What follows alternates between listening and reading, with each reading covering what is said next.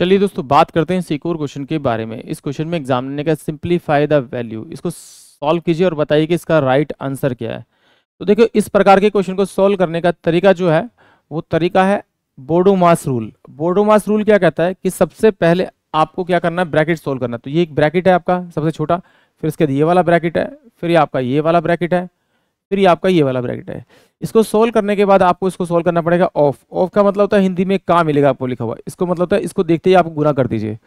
फिर उसके बाद आप करेंगे डिवाइड फिर उसके बाद मल्टीप्लाई फिर उसके बाद प्लस और फिर उसके बाद माइनस करेंगे। इस रूल को यूज़ करेंगे और इस क्वेश्चन को सॉल्व करेंगे। तो चलिए आइए सॉल्व करते हैं। तो देखिए सबसे पहले मेरे को ब्रैकेट दिखाई दिया, यहाँ पर दिखाई दिया। जब यहाँ पर मुझे ब्रैकेट दिखाई दिया तो मैं क्या करूँगा? इस सिक्स से इसको मल्टीप्लाई या तो एल्सियम ले दीजिए एल्सियम कितना आएगा आपका? वही बारह आएगा। या आप इसे सिक्स से मल्टीप्लाई दे दीजिए सिक्स हो जाएगा, इसको फोर से मल्टीप्लाई कर दीजिए फोर हो जाएगा तो दोनों का डिफरेंस आएगा तो डिफरेंस कितना? टू बाय में कितना हो जाएगा? ट्वेंटी फोर आ जाएगा। तो सोल्व करने के बाद आएगा वन बाय में आपका ट्वेल्व ये इसकी वैल्यू आ गई। इसको सोल्व करने के बाद कितना है? वन बाय में आपका ट्वेल्व और ये माइनस अंदर जाके इसको माइनस कर देगा आपका। उसके बाद दो दून, जी, चार और एक पाँच। ये पाँच बटे में आपका दो आ जाएगा। इसको एल्सियम लेंगे तो उसको छः से मल्टीप्लाई करना पड़ेगा। इसको भी छः से मल्टीप्लाई करना पड़ेगा। तो थर्टी माइनस का वन बाय में आपका ट्वेल्व हो जाएगा। तो ये कितना हो जाएगा? ट्वेंटी नाइन बाय में ट्वेल्व आपकी इसकी वैल्यू हो जाएगी आपकी।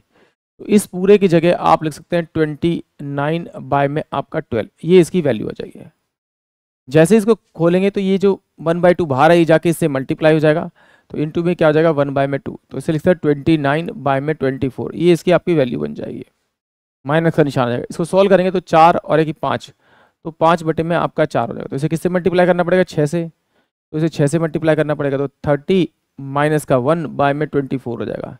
तो सोल्व करेंगे तो कितना आएगा आपका? आपका वन बाय में आपका ट्वेंटी फोर ये रिमेनिंग बचेगा आपका। यहाँ मैं इसको मिटा के इसकी जगह लिखता हूँ। आपका वन बाय में आपका ट्वेंटी फोर किसकी जगह आया ये? इस पूरे को सॉल्व करके आया। उसके बाद देखिए, इस बैकेट को खोलेंगे तो ये यहाँ पर ये वैल्यू दे रखी आपकी तीन, चार तीन बारह बारह और एक तेरह। तेरह बटे में चार दे रखी और ये डिवाइड का निशान दे रखा है। तो डिवाइड का निशान दे रखा तो थर्टीन बाय में four multiply twenty four by में वन ये हो जाएगा। तो चार छिक चौबीस। तेरह, चौके बावन, तेरह, पंजे पैंसठ तेरह छिक अठहत्तर यानी सेवेंटी एट जो आएगा, इस पूरे का सॉल्यूशन आएगा। अब एग्जामिनर ने डिवाइड का निशान लगा रखा है डिवाइड का निशान लगाया। इसमें मुझे ऑफ़ दे रखा तो मैं इसको डायरेक्ट मल्टीप्लाई करूँगा। तो ये मेरे पास वन बाय में टू हो जाएगा। इन टू में चार तीन बारह और एक तेरह बटे में कितना हो जाएगा आपका? ये आपका तीन हो जाएगा। तो मल्टीप्लाई करूँगा तो तेरह बटे में आपका छः हो जाएगा। यानी कि थर्टीन बाय में सिक्स हो जाएगा। इसको सोल्व करेंगे तो अठहत्तर इन टू में सिक्स बाय में तेरह होगा।